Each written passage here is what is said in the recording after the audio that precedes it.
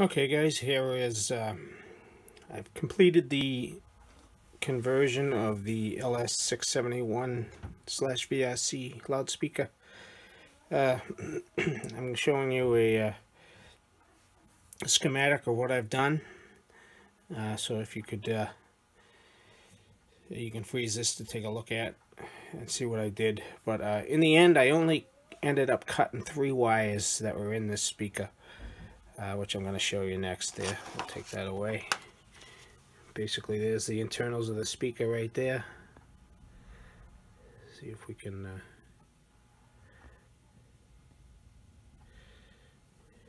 kind of zoom in a little bit there. But uh, over on the, your, your lower right there, uh, right here, I uh, I actually added this item here, which is a coaxial uh, power supply. Uh, the coax what is it? The coaxial connector for a power supply. Uh, basically, it's a 5.5 uh, millimeter by 2.1 millimeter. and so uh, I can power it from a 12 volt power supply. Basically, uh, positive voltage is coming in off the center pin. It comes down to this switch right here, which is a, a, little toggle switch I added. It's a double pole, double throw switch. It has six contacts on it. It's it's uh, two on positions. When you have it in one on position, the other on position is disconnected, and vice versa. So basically, the voltage comes in to the common, which is the center, um, the center uh, connect connection on the switch. When you fl flip the switch to one of the on positions, the voltage goes out down this yellow wire, which is one of the wires that I cut off of J1 right here. You can see where I'm pointing right here, right here, and right here. That's where these three wires were connected. So I cut them free from J1 and I connected the yellow wire, which was, uh, let's see, the yellow wire was pin B on J1. I connected that to the double pole double throw switch. So uh, positive voltage comes in. When you flip the switch to that position it goes out down the yellow wire right into uh, the original switch over here the off position of that switch. And when you turn the original switch on voltage crosses over and goes down the green wire and follows this green wire to the input of the MT3608 boost converter. And uh, it does its thing inside the boost converter and boosts the voltage up from 12 volts up to uh, 26.7 volts. And then it comes out the outer positive to uh, the red wire that I cut off of uh, J1 over here, which was pin C and uh, it comes out pin C and goes up to one side of the circuit breaker. Right here. And when that switch is flipped on the original switch is flipped on it turns the circuit breaker and the switch on at the same time. And uh, positive power crosses over the circuit breaker to the orange wire which goes follows down to the original uh, uh, ribbon cable here and powers the electronics package of the uh, of the speaker. Uh, and now for the negative. Uh, since the casing is made of plastic, it's not a common ground, of course. So uh, basically the negative side of the coaxial power going in comes down to the to the MT3608 boost converter, uh, the input of the negative, and it, crosses over to the output negative. So that's all common.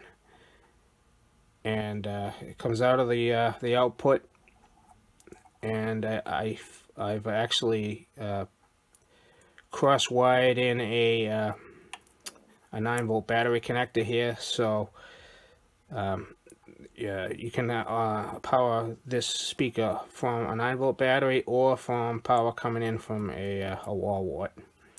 So it comes, uh, the negative comes out of the output, goes to the battery connector, and it also goes to, uh, this is a wire I added, it goes to a, a common screw over here on the uh, original um, electronics package of the speaker and that's that's common ground. And common ground is also common with pin A in the uh, J1 connector. So uh, basically that's a simple explanation of uh, what's going on here. Uh, the switch I added was for isolation so I could isolate the the uh, power uh, the wall wart power supply from the battery so I could never accidentally charge the battery with it. Or vice versa uh, battery power going out to the coaxial connector. Because uh, no matter what switch position this is in which on position is in this is going to be the battery is going to be isolated from the power supply. And that's it. And uh, it does work and uh, now the next thing I got to do uh, for the video here is gonna I'm gonna be making up a cable from J1 to uh, the PSE 787, PSE 784, and uh, the VRC 12 series of radios. But uh, one other thing I might add to it though is a uh, right here. I, I, might put a, uh, uh, a speaker jack in here connected to J1's A and K and that way I can plug in any ham radio or uh, any type of radio into that outlet that I want to do. Maybe a 3.5 millimeter uh, mono connection right there. But uh, that's about it. And uh, the, I only had to cut those three wires to, to make the alteration and I added two other wires plus the switch and the uh, the boost converter which the boost converter will take any voltage from 2 through 24 volts. So that leaves this open I can use a 12 volt power supply 6 volt power supply up to a 24 volt power supply if I want to. And I also power off a 9 volt battery if I want to uh, use it in the field without any AC power. But uh, alrighty uh, thanks for listening and uh, I'll come back with the uh, with the cable video uh, uh, down the line okay guys we're in the testing phase of the conversion the power conversion to this speaker. I got my H uh, 180 189 hooked to uh, the handset hooked to uh, the speaker. And uh, I'm powering it through two 9 volt batteries connected in series. So that's 19.4 volts is coming out of there going in through the uh, the coaxial power jack that I put in so the 19.4 uh, 4 volts is feeding the uh, MT3608 uh, boost converter inside there. Uh, I tried running it off a single 9 volt battery yesterday, but I didn't film it though. And uh, it only lasted about an hour. So uh, I took the battery off, it was a brand new battery, and I tested it. The voltage before I put it on it was 19.1, yeah, 9 9.1 volts. and when I when I was finished with it about 50 minutes later, it was 7.2 volts. So I don't know if this is voltage dependent or milliamps dependent. Uh, I think these 9 volt batteries only have 350 milliamps uh, capacity in them anyways. So I got two of them in series and I originally set up the uh, the boost converter to uh, be powered from uh, uh, two 9 volts in series, uh, which was 19.3 volts, and uh, you know, getting 24 out. So I think it fell below the the 15 volt limit there, and it started it started being distorted and everything. You couldn't hear anything anymore. But I'm going to try it with the how I originally designed it. This is the way the batteries are going to be in the case, if I can find room and they're going to be laying down connected uh, positive to negative terminal So it's one, uh, it'll be one uh, 19 volt battery. And they'll be laying horizontally uh, against the, uh, basically against the speaker on the plastic floor. Um, so I'm going to test how long uh, 19 volts will uh, power this for. Uh, I'm going to turn the volume up now. Excuse my hand. So I'm uh, I'm feeding it with this radio right here, and uh, I'll push the uh, the mute circuit, which does work. I muted it there in the handset. You can hear the handset playing. So that does work and uh, you can now turn the volume up.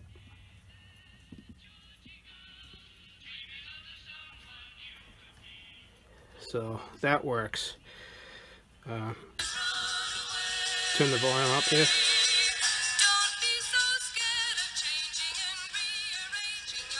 So volume the mute works. Uh, I haven't tried to push to talk yet because I haven't isolated uh, uh, the leads going into the radio and I'm afraid 24 volts is going to appear there when I key it. And I don't want to put 24 volts into a 6 volt radio for obvious reasons so that'll be in the cable uh, the cable part of the video there. When I do the cable I'm going to put isolation on the cable itself. It's not going to be built into the speaker itself. So uh, that'll be coming next. Uh, now you see the uh, clock there is where I started. Uh, so I'm just going to play the radio, uh, for, hopefully for a few hours the battery lasts, but uh, we'll see. Uh, when you put two batteries in series, the milliamp hours don't go up, so it's still 350 milliamps. Um, so I don't, this will tell me if it's voltage or milliamp hour dependent. If it fails in less than an hour, then I know it's milliamps. If the 19 volts goes for a couple hours, three hours, hopefully four hours uh, or more, and we'll find out. uh, yeah, it'll only be a few seconds for you. I'm not going to run it for that long for the video, but uh, we'll stop it. I'll leave leave the volume about this high.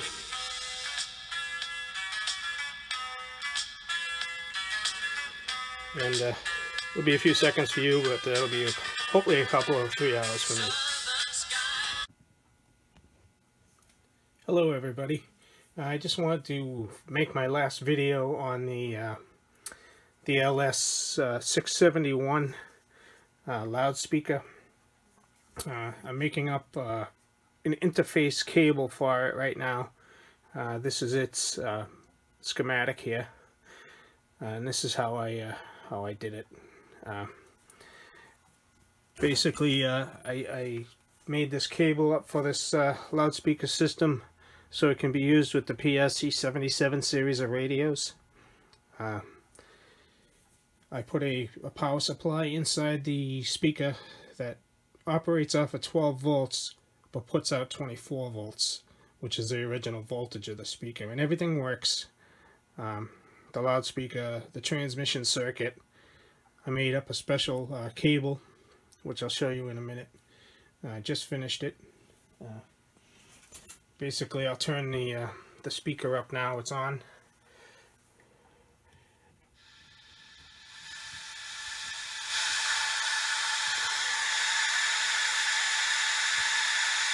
And I have a uh, an H138 handset hooked up to it right now.